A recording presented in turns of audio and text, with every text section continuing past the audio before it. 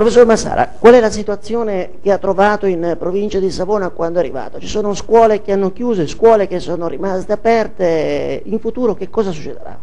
Ma guardi, quando sono arrivato, io sono arrivato il 2 di febbraio del 98, in effetti eravamo di già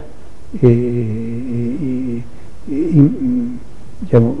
molto impegnati nella problematica della, della razionalizzazione della rete scolastica, quindi non è che abbia trovato un problema nuovo, ho trovato un problema che avevo già dovuto affrontare a Pordenone, dove ero provveditore, e che si è riproposto eh, a Savona, solo che eh, nel frattempo hanno cambiato un po' le regole del gioco a livello normativo, nel senso che fino al 97, e allora ero ancora a Pordenone, la competenza ad effettuare queste operazioni era, era, era del provveditore di studi che aveva soltanto da sentire il Consiglio Scolastico Provinciale che poi esprimeva un parere obbligatorio e vincolante soltanto per ciò che riguardava le priorità. Mentre invece a Savona nel 98 sono arrivato con una normativa diversa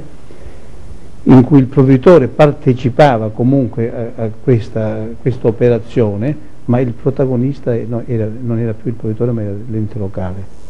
Quindi diciamo si, si è proseguito in quell'operazione che era già iniziata, operazione che eh, dovrà continuare, insomma, non, non, non, è finita, cioè eh, eh, non si sa